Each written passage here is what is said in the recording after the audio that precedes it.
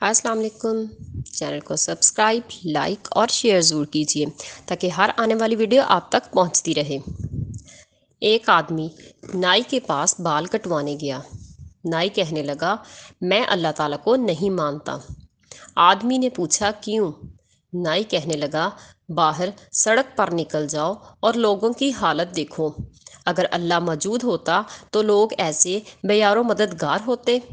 Knows बिल्ला आदमी बाल कटवा कर बाहर निकला तो इसने एक आदमी को देखा, जो बिखरे और उजड़े हुए बालों के साथ सड़क पर जा रहा था।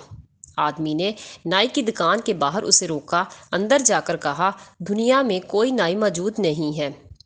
नाई ने कहा, जनाब, मैं मौजूद हूँ। आदमी ने उस शख्स की तरफ़ इशारा करते हुए तो इस शख्स के बाल इतने बड़े और उजड़े हुए नहीं होते। नाई ने कहा, असल बात यह है कि ये लोग नाई के पास जाते ही नहीं। आदमी ने बताया, इसी तरह अल्लाह भी मौजूद है। दुनिया के बदहाल लोग इसके पास जाते ही नहीं, वरना अल्लाह ज़रूर आफ़ियत का मामला फरमाते हैं।